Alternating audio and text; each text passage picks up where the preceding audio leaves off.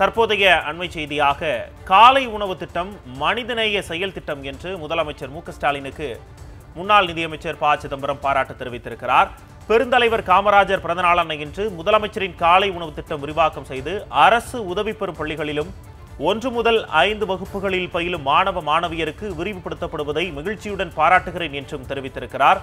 காலை உணவு திட்டம் மனிதநேய செயல் திட்டம் பொருளாதார நல்விளைவுகளை ஏற்படுத்தும் திட்டம் என்றும் ப சிதம்பரம் கூறியிருக்கிறார். காலை உணவு திட்டத்தை செயல்படுத்தும் முதலமைச்சர் மு ஸ்டாலினுக்கு நன்றி மற்றும் பாராட்டுகள் என்றும் முன்னாள் ஒன்றிய அமைச்சர் ப சிதம்பரம் தெரிவித்திருக்கிறார். அது குறித்த அண்மை செய்தியை தற்போது பார்த்துக் கொண்டு வருகிறோம்.